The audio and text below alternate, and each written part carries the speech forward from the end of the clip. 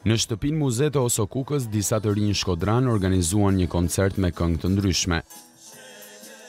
I titulluar Dasma Shkodrane, aktiviteti riktheu Shkodrën pas në vitet më të bukura të artit kur bashkimi mes djalit dhe vajzës kalonte ceremonialin e martesës dhe ishte një shpalosje e vlerave artistike dhe kulturore qindravjeçare të qytetit. Perlat e muzikës shkodrane me tekstet poetike që i dedikohen dy të rinjve që kanë vendosur të bashkojnë fatet e tyre, E ktheu oborrin e muzeut Oso Kuka në një mjedis feste.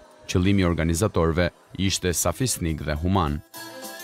Sivjet kauza është për të ndihmuar fëmijët dhe familjet në nevojë që kanë fëmijë që janë në spektrin e autizmit.